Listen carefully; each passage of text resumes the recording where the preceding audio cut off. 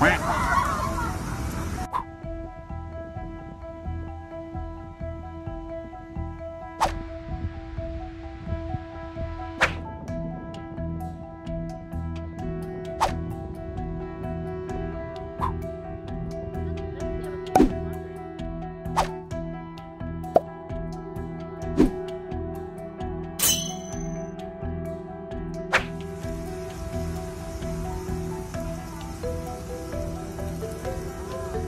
What we're thinking that it is at the moment is a bloom of microalgae which has been driven by a long hot spell of uh, yeah, very fine weather, uh, low winds and low tides.